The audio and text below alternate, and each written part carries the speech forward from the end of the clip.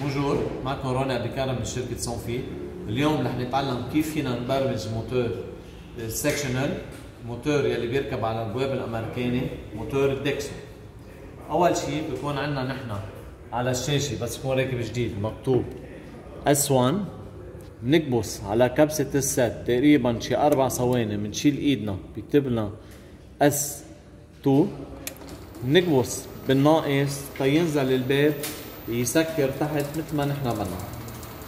لازم نضلنا نحن كابسين على الناقص لأنه مجرد ما نشيل إيدنا رح يوقف. أهم شيء نحن وين بدنا إياه الباب يوقف تحت؟ يعني وين حدوده تحت؟ لازم نوقفه.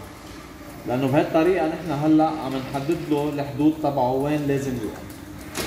من بعد ما ننزل الباب أنا بدي حدوده توقف هون بكبس على كبسة الأوكي. بصير الباب يطلع لوحده. هلأ بالطلعة بيكون عم بيحدد حدوده وين بده يوقف بالطلعة. مثل ما ملاحظين هون على السكة حاطين له هيدي الحديدة يلي بس يوصل الباب يضرب فيها بيكون عرف وين حدوده. بضل طالع لوحده. أكيد هلأ على الشاشة بعد عطتنا S2 تيوصل مجرد ما دق فيها بيرجع عنا بيعمل cycle تاني بينزل.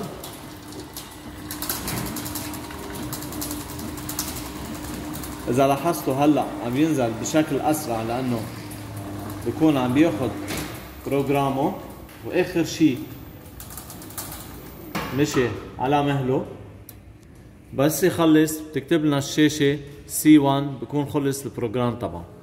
هلأ إذا بدنا نبرمج remote control بدنا نجي على زر ال prog بدنا نكبس عليه كرمال. تعطينا الشاشة F0 بنشيل إيدنا. بنجي على ال remote control. ال io بيكون عندنا كبسة شمال وكبسة يمين بدنا نكبسهم مع بعض تصير تضوي بعدين بنكبس عليها. إذا كانت عندنا بتكتب لنا آد بكون حفظها ثانك يو إن شاء الله نكون فدناكم وانطرونا بقصص جديده